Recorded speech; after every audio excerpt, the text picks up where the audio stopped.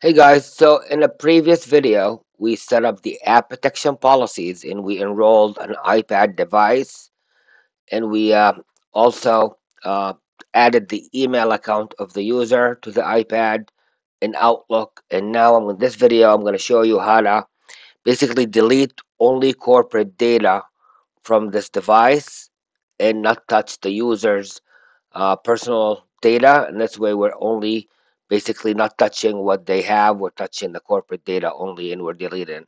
So uh, I'm going to show you the iPad I have. So this is the iPad. And as you can see, I have Outlook.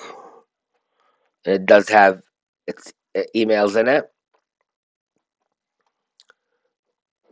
And let me uh, make it a little bit bigger here. So I have my email. This is the corporate emails basically. And now we want to go and issue a command to delete this email. Now remember, if the user has their own personal email on Outlook, it's not going to be touched. Only this email will be touched. So let's get to it and see how it's done.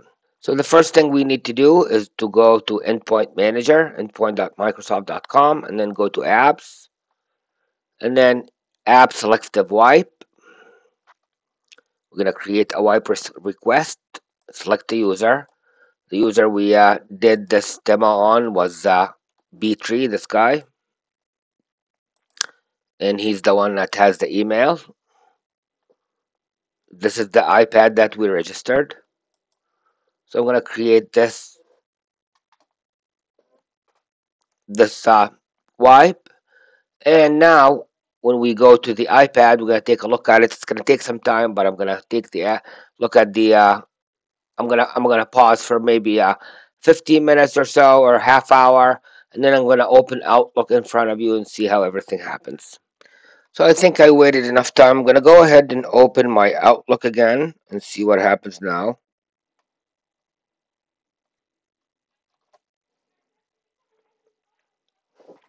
And as you can see, it's saying checking your organization data access requirement for this app. And basically, it's going to go ahead and delete it. Your organization has removed its data associated with this app to connect to your organization. And that's it. Basically, now Outlook no longer has the email. So Outlook no longer has the corporate email, but if there was an, a personal email in there, it'll stay there. And with that, basically, we uh, wipe anything related to corporate and we keep the personal uh, data for end users. Uh, well, that concludes this video. Please don't forget to like and subscribe and have a good day.